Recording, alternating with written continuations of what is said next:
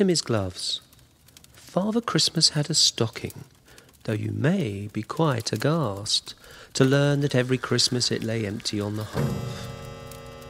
This year, he said, I'll find the time to fill it up a little. A small cigar, a generous jar of special yellow pickle. But first, he said, I must address the reason why I'm here. For giving, not receiving, is what Christmas means each year. I must remember Timmy's gran. He says she's very old.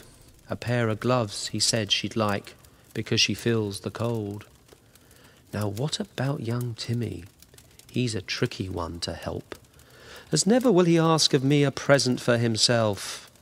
Samantha says she loves to sing, and could she have a harp? The twins said, Bring just anything. I need to make a start. The air was clear, and faintest hint of snowflakes did descend, and on the close of Christmas Eve his work did almost end. There's one more house we have to do, the reindeers understood. Young Timmy's home stood all alone in Seven Ashes Wood. Young Timmy's eyes were tightly closed as Santa left his gifts. I would have liked to speak to him if I could have a wish. But I am Father Christmas, and that really wouldn't do. God bless you, little Timmy. There are few as good as you.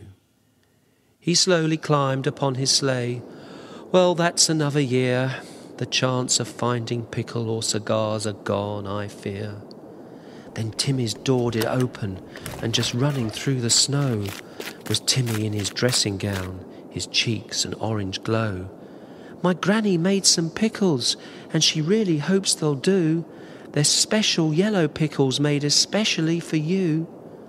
Our Santa held them in his hand and then began to shake. I thank you, little Timmy. Father Christmas rarely takes. The sleigh bells loudly jingled as he left the frosted wood, and Timmy waved with both his arms as only Timmy would. I love you, Father Christmas.